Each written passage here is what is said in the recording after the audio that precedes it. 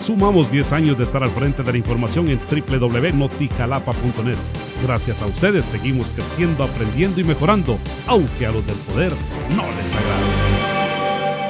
Persona de sexo masculino fue agredido en el rostro cuando se encontraba ingiriendo alimentos en un restaurante en el municipio de Mataquescuintla. Así lo dijo el portavoz de bomberos voluntarios de dicho municipio, Jaime Aguilar. A 71 compañías también fueron requeridos en lo que, es la, la, laguna de Ayarza, de ese mismo municipio, donde según eh, informaciones de varias llamadas que ingresaban a la compañía, informaban de varias personas heridas, por lo que la unidad 1124 con técnicos de urgencias médicas se dirigió a dicho lugar, constatando que solo se encontraba una persona con varias heridas en el rostro.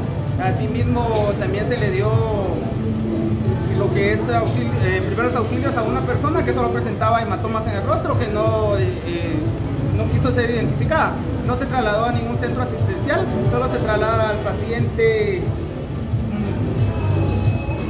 Santiago Morales Bautista, de 56 años. Este paciente se traslada en estado consciente, presentando varias heridas en el rostro y que mismas que le ocasionaron personas desconocidas cuando según ellos se encontraban comiendo en un restaurante de dicho lugar.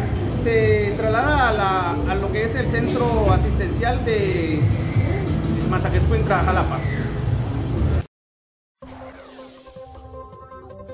Para los T21, los Chapines y el mundo, notijalapa.net.